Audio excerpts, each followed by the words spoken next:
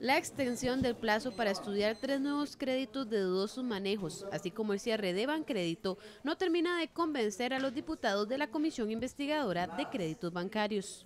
Estamos hablando de dos meses y medio y queremos ver Bancrédito, que me parece que es trascendental verlo porque no es un crédito, es el cierre de un banco. Queremos ver hidrotárcoles, queremos ver este Jamber y queremos ver las brisas.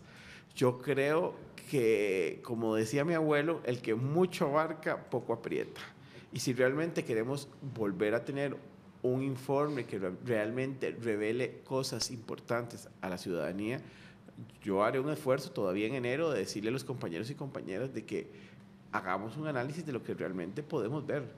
Por su parte, Patricia Mora, legisladora del Frente Amplio, aseguró que ella no se preocupa tanto por el tiempo, siempre y cuando se haga un buen trabajo y se busquen responsables. Pero por supuesto que no aceptaré que la comisión centre su atención durante tres meses en Bancrédito, porque tengo ya hasta expedientes abiertos sobre los otros. Es decir, que, que no daré pues la batalla que tenga que dar y con, y con el talante de consensuarlo como ha sido hasta hoy, pero sí recordar que aquí hay una eh, moción inicial que señalaba tres créditos. Ambos diputados recalcaron que el estudio del cierre de Bancrédito es esencial para determinar si la decisión fue o no la correcta.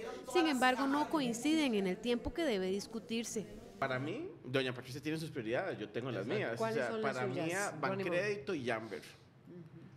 Sí.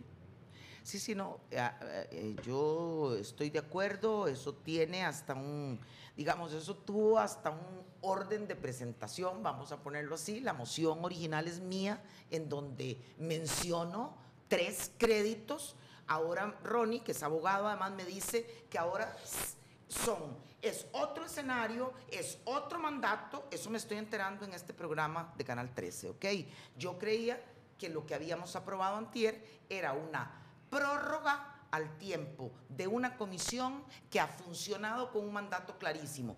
Los préstamos que se estudiarán será el de Hidrotárcoles por 117 millones de dólares, el de Jamber por 37 millones de dólares, el de Brisas por 23 millones de dólares y el cierre de Bancrédito. a mí me